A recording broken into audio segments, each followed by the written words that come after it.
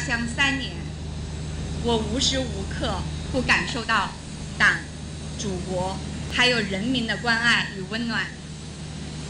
习主席关心我们每一位中国公民的安危，同样也把我的事情挂在心上，让我深受感动。我也感谢在这个过程中所有相关部门对我的鼎力支持和帮助，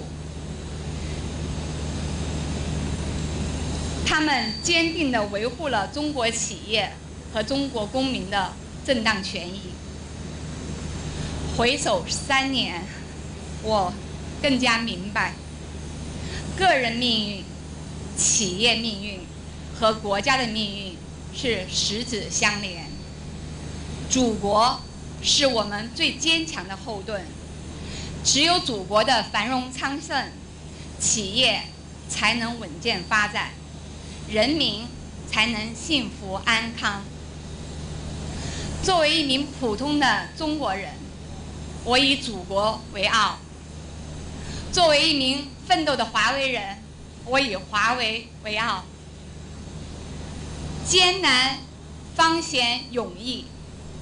磨砺使得玉成。所有的挫折与困难，感激与感动，坚守与担当，都将化作我们前进的动力和拼搏的勇气。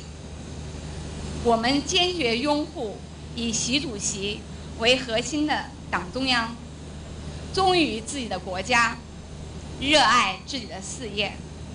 在政府的管理规则下，努力发展好企业，为国家、为社会多做贡献。国庆即将来临，提前祝祖国母亲生日快乐！